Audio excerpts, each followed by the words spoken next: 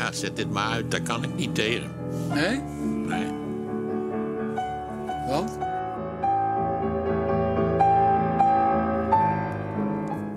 Wat gebeurt er dan? Ik raak ontroerd. Ja, maar is toch niet erg? Nee, ja, dat kun je zeggen. Ik moet wel op de rails blijven rijden natuurlijk.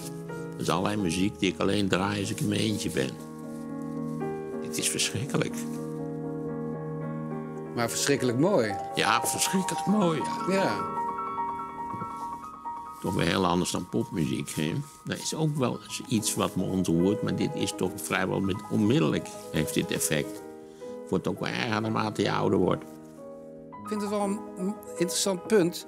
Want jij, jij huilt gewoon spontaan bij het zien en horen van deze muziek. Ja, En als je dan, dan zegt jouw broer Vincent... "Eh, Maarten is erg gesloten, je zult van hem nooit iets persoonlijks horen. Hier zit een man aan tafel die barst in huilen uit bij het horen van Schubert. ja, En dat is een gesloten mens. ja dat, ligt aan de muziek.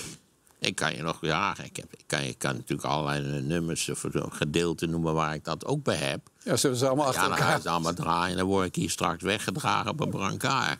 Dat is ook niet. Maar ik vind het wel. Ik, ik vind dit, daar gaat dit programma eigenlijk over natuurlijk. Hè?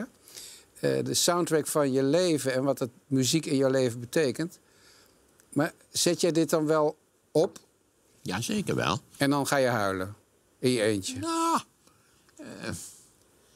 ja, dat, oh, in principe zijn allerlei stukken. En nogmaals, ik ga het nou maar niet verklappen. Nee, nee, dat maakt ook.